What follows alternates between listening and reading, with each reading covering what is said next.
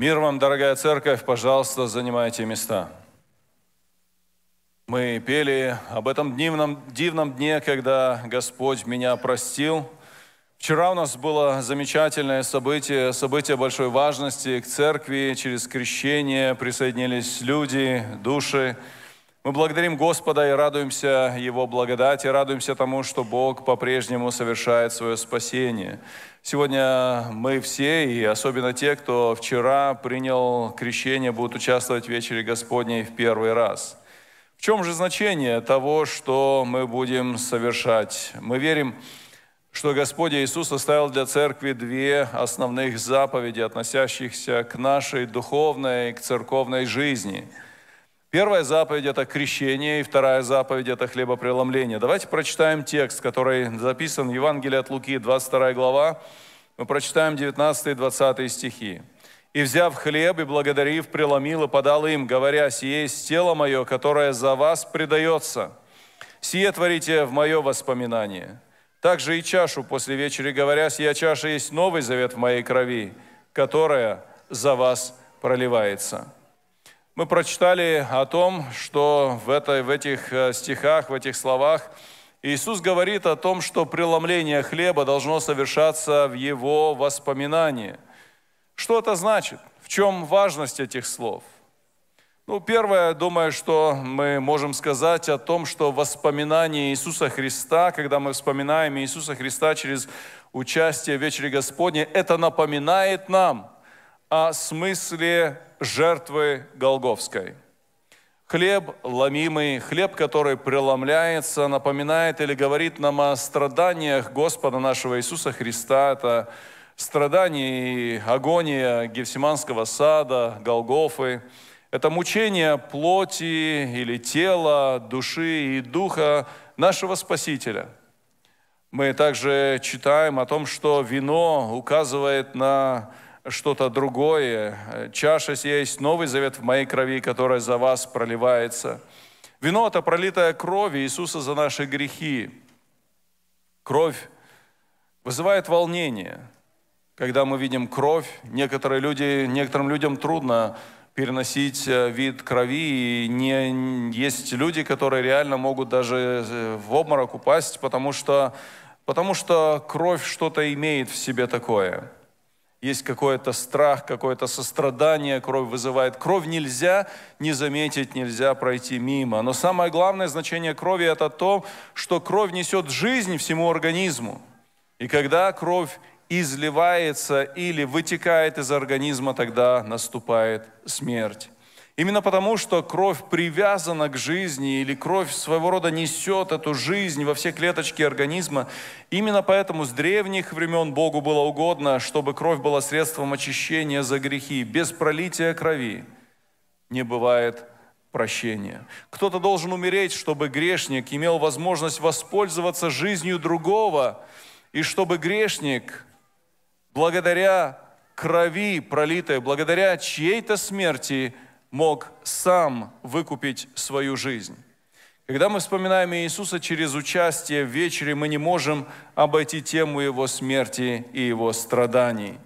Вечеря Господня – это регулярное воспоминание о Его смерти, это постоянное напоминание о том, что через Его смерть ты участник новой жизни.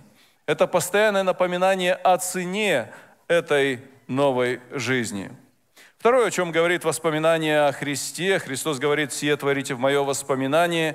Если первое напоминает нам о смысле жертвы Голговской, второе напоминает или помогает нам дорожить и ценить жертвой Иисуса Христа. Если тебе дорог Иисус, если ты действительно веришь, что Он спас тебя от смерти, то тебе нужно дорожить отношениями с Ним – что это значит и как это может работать в жизни? Что значит дорожить отношениями с Иисусом? Теоретически мы можем иметь много друзей. Теоретически вроде можно считать людей друзьями, но не иметь с ними контакта. У меня есть друзья, с которыми я был очень близок когда-то. Я по-прежнему их считаю друзьями, они мне не враги, скажем так. Но, знаете, к сожалению, со временем наши отношения или мои отношения с ними как-то как-то, ну, знаете, не имеют той близости, как когда-то. С кем-то, а, наверное, можно даже так сказать, что это бывшие друзья. С некоторыми из них я не имел встречи и не имел а, регулярных каких-то разговоров на протяжении больше 30 лет. И, конечно, я по-прежнему дорожу памятью о моих друзьях, но, знаете, на самом деле правильнее сказать, что это бывшие друзья – Конечно, я могу привести очень много объяснений и причин, почему так получается. Это и проблема расстояния, и проблема времени. Они живут в других часовых поясах. Это и занятость, и многое другое. Но мое пожелание сегодня всем христианам, которые слышат меня, всем искупленным детям Божьим, никогда не переводите Иисуса Христа в категорию бывшего друга – Вспоминайте Его регулярно, говорите с Иисусом Христом регулярно, постоянно, каждый день. Проводите с Ним время, дорожите Его повелениями, дорожите Его учением.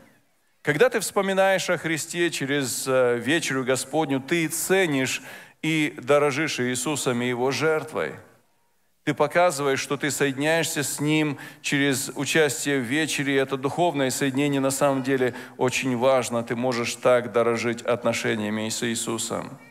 И еще одно, что помогает нам, или э, когда мы вспоминаем о Христе через участие в вечере Господней, что это нам дает. Воспоминание о Христе помогает нам вести духовную борьбу. Если ты действительно веришь, что Иисус умер за тебя, если Иисус дорог тебе, то акт твоего участия, само действие твоего участия в хлебопреломлении должно напоминать тебе о твоем участии в новой жизни. Написано есть еще одно слово такое, когда вот мы говорим о хлебопреломлении, вот синоним этому вечера. Мы можем еще сказать, есть еще одно слово причастие, есть еще слово приобщение. Мы приобщаемся или соединяемся со Христом. Так вот, акт твоего участия в хлебопреломлении должен напоминать тебе, что ты присоединяешься или имеешь это участие в новой жизни Христовой. Это должно напоминать тебе, что ты похоронил свою старую жизнь в водах крещения. И когда ты вспоминаешь об этом через участие в хлебопреломлении, напоминание об этом наполняет тебя желанием не сдаваться на искушение врага, но быть похожим на Иисуса – стремится иметь характер Иисуса, Его качество, Его силу, Его жизнь. Дорогие друзья, вы сегодня будете иметь возможность первый раз участвовать в хлебопреломлении.